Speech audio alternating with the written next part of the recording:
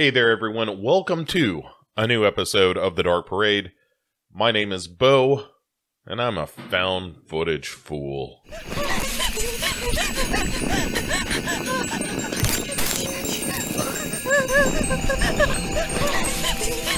Tell me the camera thing isn't annoying. Yeah, it's annoying. All right, folks. So uh, we have had a, a fairly good run of things of late, and this one is going to be a little bit different in that you can argue that this is not necessarily a horror movie, but it falls into the found footage category squarely, and it's got horror elements, so we're gonna go with it. Uh, of course, I am talking about the movie Europa Report uh, from the year of our Lord 2013. And the the brief sweep of uh, what this movie is about is it, it's directed by a guy named Sebastian Cordero, uh, who is best known for this and a bunch of other uh, Spanish movies, um, like uh, Pescador, which I think is something about fish, and uh, Sin Muertos No Hay Carnaval, uh, which I think means with death we don't have a carnival. Um, at any rate, uh, it was also written by Philip Gelatt or Gelatt, uh, who has uh, who wrote The Spine of Night, uh, and and wrote some video games, including some of the Tomb Raider games and that kind of thing. So, um, a pretty good writer, I think. Um, but Europa Report uh, is about um, a, a, a you know a team of astronauts sent to Europa, the moon of uh, Jupiter. That's right, right? Moon of Jupiter. Anyway, sent to the Europa to see if there's life there. That they kind of suspect, hey, there's life under the ice of Europa because of all these heat vents and so forth. And so we're gonna send our folks there to see what's what. And it is uh, it has a pretty good cast with uh, Charlton Charlton Copley from uh, District Nine as, as one of the leads, as well as Michael Nyqvist.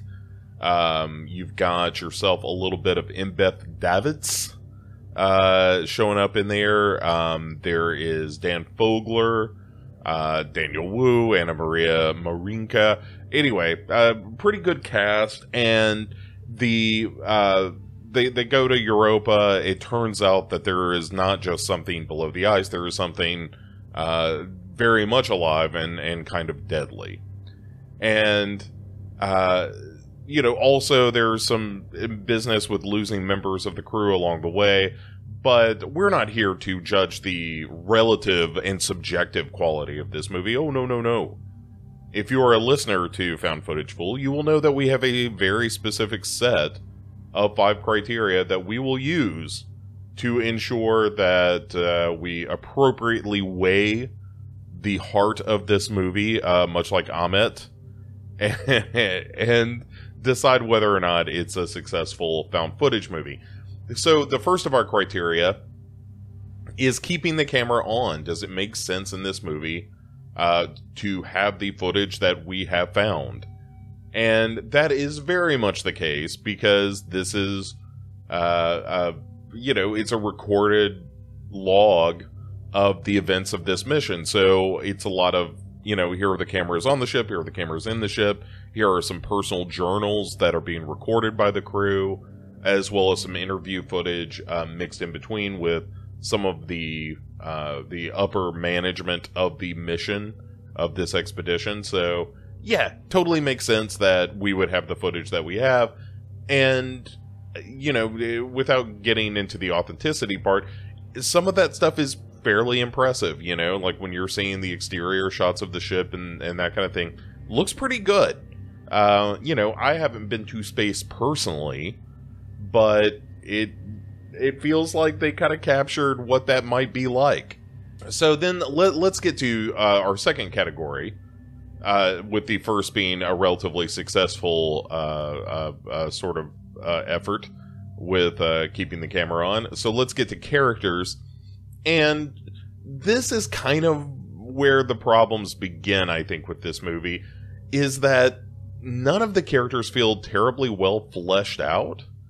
that there's you know Charlton Copley's character. You understand like oh he, his kids are back home, and he, he sort of regrets being on this mission to some degree, but he's also kind of charismatic and upbeat, and you get maybe a little bit with Dr. Unger, the Embeth Davidtz character who is back on Earth, uh, as well as Dan Fogler, who is also, you know, one of one of the higher ups in the mission. But aside from that, I guess maybe Rosa, who is the Anamaria Marinca character, gets the most screen time. And and she's kind of fine. Like I think all the performances are are totally fine in this movie but you know, it, like she seems ambitious. Uh, I suppose would be her main characteristic. It, it's just not a movie where you feel like you're rooting for any of the characters. You know, you're not rooting against them the way that you often do in some of these found footage movies where the characters are terribly irritating and you just want them to stop with all the talking and the breathing. this is much more like I I don't dislike anybody, but I just don't feel like I've got uh, other than Charlton Copley, who, you know, slight spoilers for Europa Report, doesn't make it through the mission, and so at a certain point, he's just no longer in the movie, and the one character that seemed like really engaging and, and kind of an audience surrogate in a way, uh, just goes away. And that's a real bummer. So for characters, it's it, it's a real kind of flat line the, for every moment where I was kind of rooting for uh, Copley's character of James Corrigan. There are moments where I just didn't care at all about what was going on with uh, the rest of the the cast. So yeah, eh, it's kind of a, a, a disappointing result there. Uh, which brings us to authenticity. Does the movie feel authentic? Is it believable? Is what you're seeing uh, before your eyes feel like it makes sense in the world that the movie has created? And for sure, in fact, one of the bigger issues I have with the movie is that it gets so bogged down in the sort of routine of here's what it would be like to be on this mission. Um, it, you know, oh, we've got some problem landing. Now we're we've landed. Uh, let's go walk around on the ice a little bit. Let's run our scans. Let, you know, let's leave these logs for uh, you know our kids and people back home and that kind of thing. It gets so caught up in the in in the authenticity part of it. Sometimes I, I think it forgets to be an entertaining movie, and uh, and that is also a bit of a problem. So I, I yes, is it authentic? hundred percent. It it feels like uh, a, a very believable uh, representation of what a mission like this this would be up up to and including the end of the movie, uh, where it gets a little more you know monstrous. Um, so yeah, uh, as far as authenticity goes, completely uh, authentic uh, does not mean it, it's entertaining, unfortunately. So, which brings us to watchability. Is this movie watchable? And I mean, to call it watchable is underselling it. It is a very watchable movie. It, it's well done. Uh, like I said, it's well acted. It looks good. Um, the the idea of going to another planet and discovering life is incredibly compelling. It's a wonderful idea for a found footage movie, and and and far better than you know what Dark Side of the Moon or whatever that found footage movie was that was just trash. We might do that one next just to provide a point of comparison to make me like this one more. But the, yes, is, is, it watchable for sure? Uh, does that mean it's a great watch? Not really. I, I, I, as much as I hate to say it, I feel like this movie is just kind of dull, and I, I don't think it needs to descend into pure monster movie like uh, something like the movie Life, which deals with encountering alien life or alien for that matter. You know, this is a much more measured take on that, and that's fine.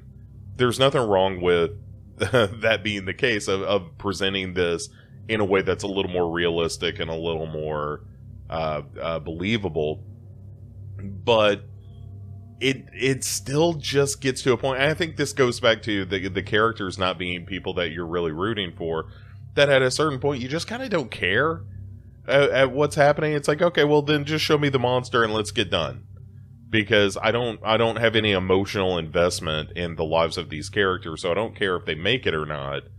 And there's a lot of a big part of the last part of the the movie is hey are they going to make it off of the planet Europa or not?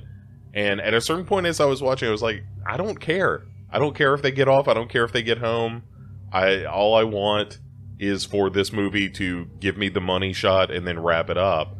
And you know, eventually that happened, but uh, it took it a little too long to get there. Um, and and then our, our, fifth criteria being, you know, a found footage horror movie podcast is uh, what about the scares in this movie?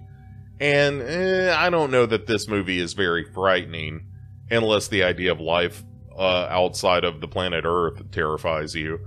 There are some moments that are more 2001 esque than they are like horror movie where people encounter you know we, we see from uh, a, a, very limited perspective their reaction to you know what they are discovering on Europa.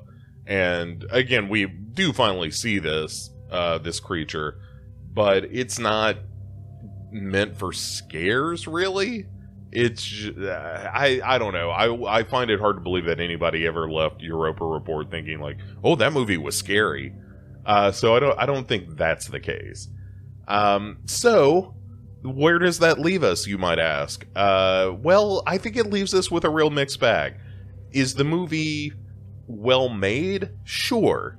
Is it entertaining or scary or uh, funny or exciting?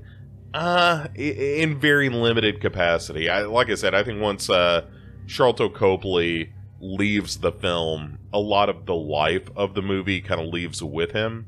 And then you're just waiting for the monster part of it, which isn't a significant enough portion of the movie to carry it. So, yeah, I don't know that I would recommend Europa Report. Not because it, it's not well done, it's just a little dull. And I think that's where we're going to leave it. We're going to put Europa Report up on the shelf now and say, you know, if you found yourself on a Sunday afternoon watching Europa Report, it's a good recipe for a nap. Uh, but it's not the worst movie you're ever going to see. And if somebody was uh, a big, you know, uh, space exploration nerd and thought that, you know, oh, they get it right, eh, fine, fine. I could see that argument, but uh, I ain't that guy, and I just want the movie to be entertaining, and it wasn't terribly entertaining.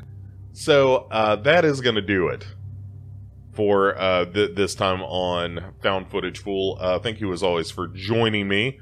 Um, we've got more coming up this month. If you are uh, listening uh, to the Dark Parade on the regular, we will have a an episode on Moby Dick coming up very soon, and that's going to be very exciting uh, with with Duncan McLeish. Uh, you're also going to get a what you watching next week.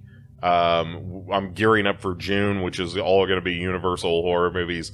And uh, if you want to catch up on uh, past episodes, obviously you can uh, subscribe on the podcast catcher of your choice, and I would certainly appreciate uh, if you did so, as well as rating and reviewing where that is possible. That helps uh, a bunch.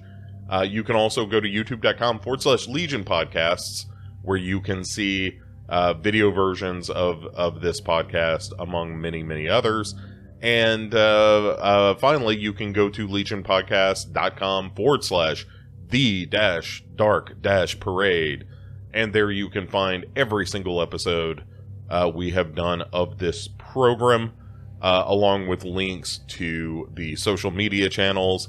Fair warning, uh, Discord is where I am most active. I'm trying to limit uh, Facebook and and Twitter and all of that stuff to about one visit a day just to check in and make sure I answer any messages. But if you do leave me a message on any of those locations, I will certainly get it. Um, and I think that will do it for now. We'll be back with another found footage fool uh, in June, according to my schedule. So uh, the next couple of Fridays will be what you watching in Heart of Horror and uh, and that'll do it for this time. So uh, as always, thank you very much for listening, and thank you as always for joining the Dark Parade. We'll see you soon.